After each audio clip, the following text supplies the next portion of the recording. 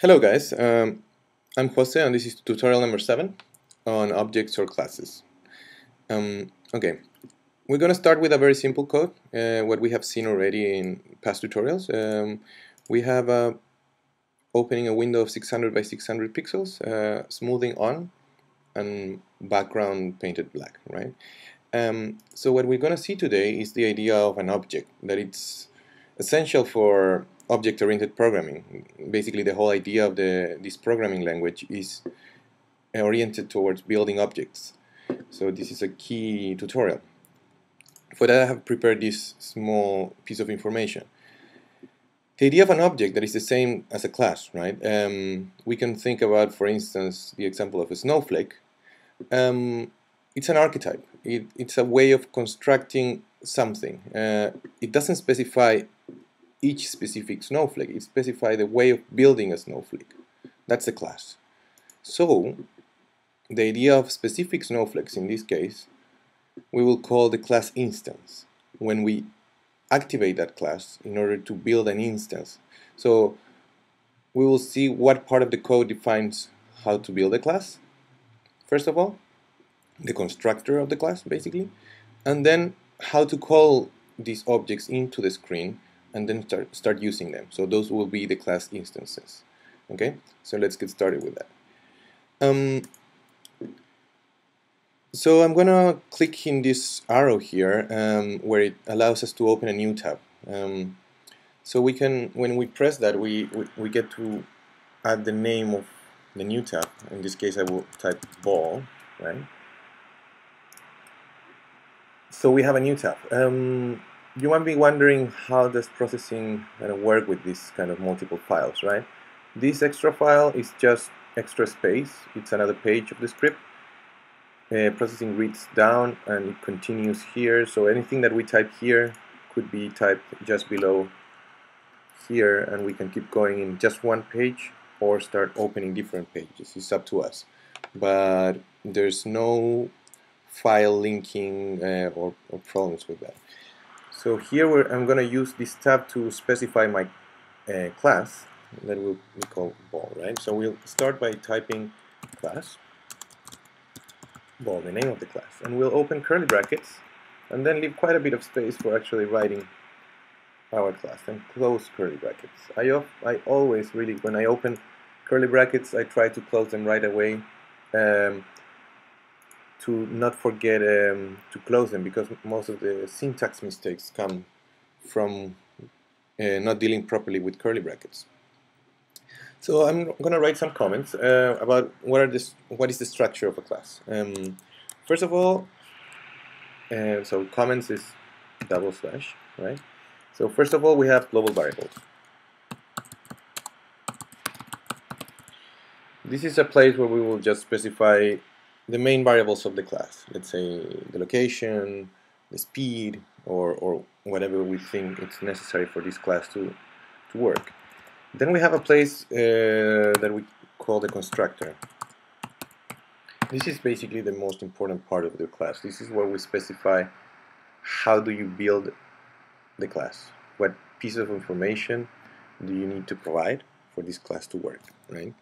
Um, it also it's where you initialize variables. This is this is the place where you call variables for the first time, or you um, give a value for certain variable that will happen just once at the beginning of the class, and won't happen over and over through the loop, right? Um, and then we have a third part of the class that we will that is the functions,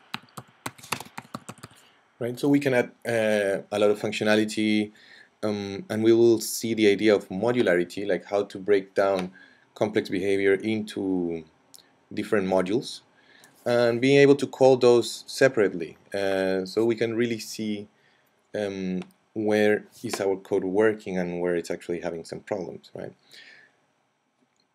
So let's write an example for each one of these. We're going to say float x and float y right? We can just declare the variables like this, or we can also add um, a value to them. Uh, at this point, um, it's not important. It's just defining that these variables are uh, global variables for this class. Um, we're going to jump into the constructor. the constructor is written like this. Uh, we say ball, the name of our class. Uh, we open parentheses. We have a parenthesis here that where we can actually specify information required for this class to operate. Um, right now I'm going to leave it uh, empty, but uh, we will keep moving forward and eventually start adding some information there. So just for the sake of the structure of the class, we're going to leave it empty for now. So we're going to open curly brackets and close curly brackets. The space between these curly brackets is the space where we can specify any number, uh, like as much script as we want, but this will operate just once when the class is called, at the beginning of the class. And then it won't uh, happen anymore. So similar to the idea of the setup and the draw as a place where we start variables or we do code with just once and then um, it doesn't loop anymore, here the class has the same structure. The constructor is that, that place to just do things just once. Um, and then we have functions, right? So we're going to do a function, something like void display, right? Where we're going to um, just say something like ellipse 200, 200, 220, right? Um, perfect. So this uh, class is at this point it uh, should be working. Uh, it's not too clever class at all, uh, but we're gonna start from here, right? So the structure it's uh, it's specified. Let's see if it works. Perfect. The script is running, but you see that there's nothing on the screen, right? This is the same what we were talking before. We have specified a way of building this object ball, but we haven't called it into the screen. We haven't built an instance of the class, right? So we're going to build an instance of the class. Um, when you write a class, the name of the class becomes a variable type. What does it mean? That we can say ball as, as we say integer or float, and this will be the kind of variable that we will specify and now we will call um, the name of um, our instance. This is the place where we will say the name of the instance of our class. So I'm going to call it my ball. Right? so again, this is the class or the variable type that is the class and then we have the class instance. Um, so first of all, we're declaring it now we need to initialize it. So we're going to say my ball equals new ball. Right? So the keyword new is specifying build a new uh, instance of the class ball.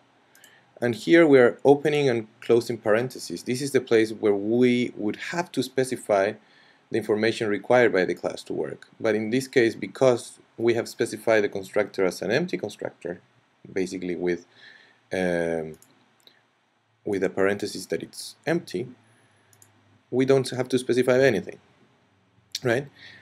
So this instance now exists in the system. Um, still, it won't show in the screen, but uh, we can actually access its functionality now.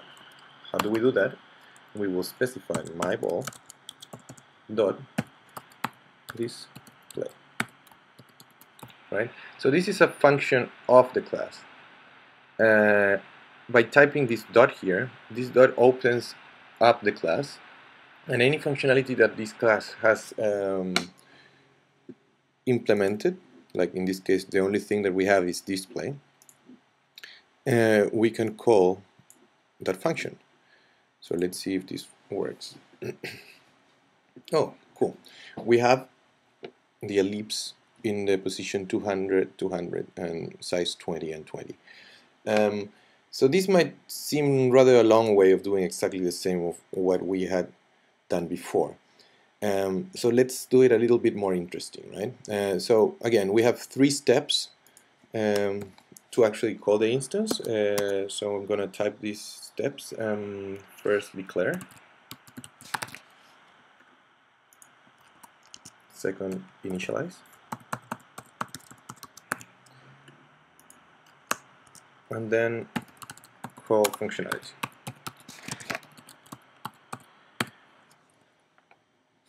um, realize that we're calling the display function in the draw loop. That means that it, we're calling it every frame. We could call it also in the setup, but it will just happen just once. So, I mean, the ball will appear the first frame and eventually disappear, right?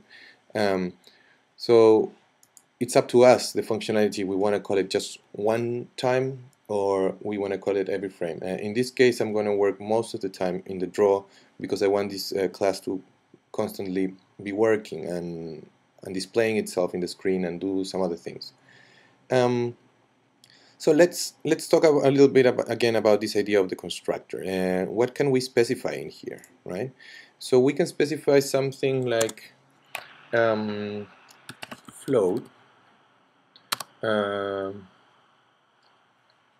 x or I'm going to type underscore x and float underscore y, right?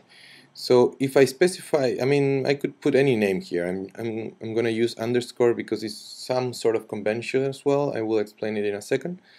But now I need to specify, if I try to run this class, it will tell me, hey, you need to specify two pieces of information, two floats, for this function to for this class to work.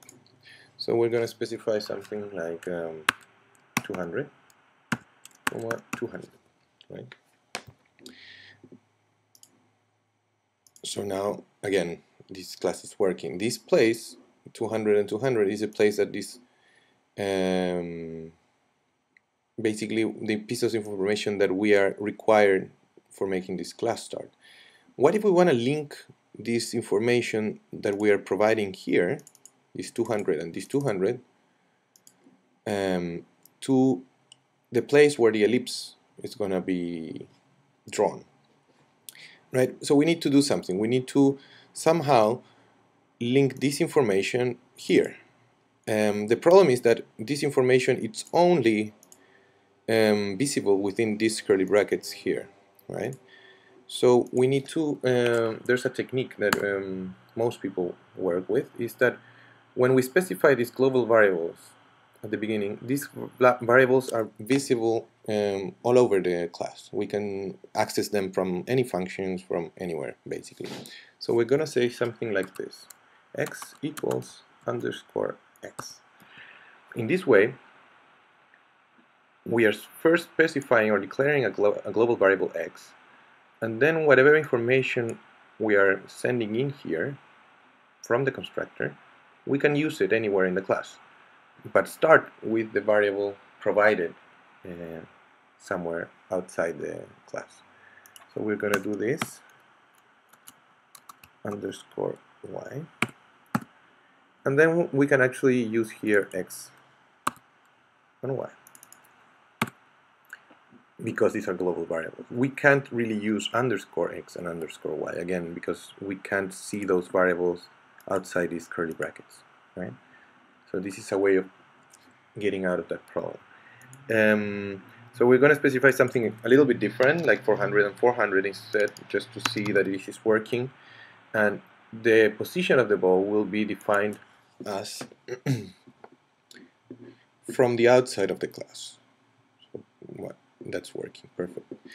Um, so the next idea is how to start building some more interesting functionality because right now we're just drawing again as uh, an ellipse on the screen and this is not uh, something that we need a class to actually do. We need, uh, if we do, we're going to do a class, we, we could just go for something a little bit more interesting. And with this I'm going to touch the idea of modularity, that it's a very good practice for writing code, especially if you're starting. Um, so I'm going to do a function called run. And I like doing this function because this function for me it's the place where I will uh, break down all the behavior that I want my class to have. Let's say I wanna I'm, I'm gonna do some comments here. I will say I want my class to display on the screen, so appear in the screen, right? And I'm gonna say also I want this class to move then I could say, hey, I want this class to bounce. And then finally, maybe I want to say, also, I want this class to get affected by gravity, right? So wow, that's uh, a lot of um, functionality that we want to build into this uh, object. But we already know that this class, uh, this function display, it's already written. So we can say that display is our first function that it's already done, right? So this is the one that makes the ball appear in the screen and we can specify also the color, the way it, it appears in the screen. This is going to control that. Um, so that's fine. Uh, if we use this function run now, we will have to change this display to run. So we will call just one function from our ball, but that function will contain all the other functions that we will be building. Right? I'm gonna increase a little bit the size of the window here. So let's see if this is working. This is perfect, right? So again, we are using the function run instead of display here to call this function that will contain all the other functionality of our class. Let's try to build the function move that we have seen a little bit before and we will do so I'm calling the function move that doesn't exist yet, so I will write that. Void move. Uh, I'm gonna say something like um, x, that is the position, right, equals x plus 2, right? Uh, and let's see what happens with that. I mean, we are calling here in the function run again, we are calling our function move, so that's activated. And let's see what we get out of that. So the ball is moving. Um, I'm gonna make this object starting 200 and 200 again, just to have a little bit more of space to see how the ball is moving. Perfect. So this 2 is basically if we think about this, what it's saying, just update your position, as x means the position of the ellipse. Uh, update your position adding 2 each frame, right? Another way of writing this would be x plus equals 2, right? But if we think about this 2, this 2 is not just a number 2 that we're interested in. We could call a variable float speed equals to and call this the speed, right? Because if we change this value to more or less, um, we make this ball to move differently. If we make it negative, it will move in the in the opposite direction. Let's try that. Minus 2 speed, so we should get the ball moving in the left direction. Can we do that in the y? Can we say something like y plus equals speed. Um, and in this case I'm going to use just 2. so we're getting that the ball moves 2 units in x and 2 units in y each frame. Perfect. But what if I want to specify that the ball moves differently in x and in y? Um, the most easy way to do that is actually specifying two speeds. I'm going to copy paste this line. I'm going to specify speed x and speed y. And so I'm going to use here x plus equals speed x and y plus equals speed y. So we can specify that the movement in y is 0.5 and the movement in x is 2 and we get not a 45 degree movement, but we get uh, something in between, right? Um, so in this way, we have defined a function move that allows us to make to, to make this ball move uh, depending on its speed. So this is uh, this is interesting, um, and we can change this variable speed, and we can specify the speed of our ball. That's great. Let's think about the next step right now. The next step would be doing this bounce. This ball, when it just reaches the border of the screen, it gets out of the screen. Uh, we want to maintain it inside the, the screen, so we're going to include again the function bounce, right? but because this function is not written, we have to write it, right? So void bounce, open parentheses, close parentheses, and curly brackets. Um, so what do we have to do here? We have to specify that if we reach the border of the screen, bounce. How do we make the ball bounce? We can specify um, that the speed gets inverted. So let's try to write that line. We can use an if statement saying if right, x is bigger than width. Width turns blue because it's a keyword by processing to recognize automatically how big is the window that we're using in the x direction, right? So the width, in this case, is 600 pixels. We also have the keyword height to specify how tall the window is in the y direction. So we're going to say if x is bigger than the width, right?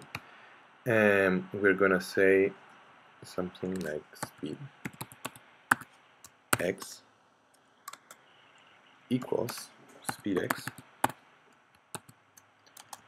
times minus 1. What does this mean? This means that if we multiply anything by minus 1, we will just invert from positive to negative. And we realize that when it was positive, it was moving to the right direction, and it was negative, it was moving to the left direction. So if we use this if statement, we can actually get the effect of bouncing while reaching this side of the screen. Great. The problem is that when we reach this side of the screen, we don't have that. This is zero uh, in terms of the size of the window. This is the width, so 600. This is again 600, and this is zero in the y direction. It's important to know that the zero zero coordinate of processing is in this point, upper left corner. So if we would like to this to happen for all the four edges of the screen, we would have to specify this if statement four times. So I'm going to copy it and say if speed is in this case smaller than zero, um, speed x gets multiplied by um, minus 1. Then I'm going to say if y is bigger than the height, speed y gets multiplied by minus 1. And the final one, it's similar version of this one, uh, where we say if y is smaller than 0, so if y um, reaches that boundary, speed y gets multiplied again by minus 1. And so let's see if these four if statements, one for each one of the edges of the screen, allows us to have an a constant animation of our ball bouncing around. So good, we have one bounce in the left. Uh, great, we have a bounce in the right, I mean in the left as well. Um, down as well. And because the ball is moving quite slow, we will have to wait quite a bit, but it should be working on the upper part as well. Uh, so we have the bounce implemented. That's great. So we have uh, quite simple functions, one called bounce, one move, and one display, and we're getting something interesting already, some ball that is bouncing around the screen. Um, so we will specify a little bit of a higher value of speed. Maybe we can make this ball move a little bit faster, right? Um, and now we have the idea of gravity. This sounds like almost like including physics into the system, um, but we're gonna see how to make it really easily.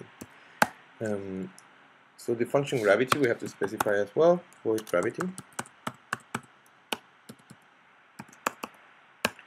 So if we think of what gravity is, gravity is just a force um, pointing downwards, basically, it's a vector going down, and that it constantly affects everything, right? So we need to say that speed in x in y, that is the y direction, right? So we're gonna work in the direction of y. Um, plus equals gravity. What would gravity be in this case? Let's say something 0 0.2. Let's try something like that.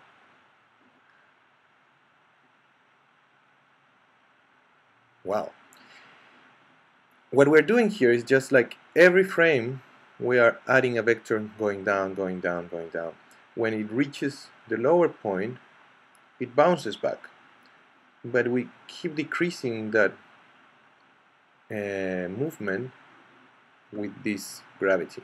So you can see that our gravity is not too strong, but it makes at least this curvy movement. And we start deaccelerating the ball. Uh, we have some problem here at some point that I'm not going to solve, but uh, we will see that later. Um, so I guess that the most important thing here is that through this idea of modularity, that several discrete functions can build up a very complex or quite interesting behavior, right? So we have display, move, very simple function, adding, updating the position. We have a bounce that is just an if statement defining the boundaries, and also gravity, that is a very, very simple function, only adding uh, certain values.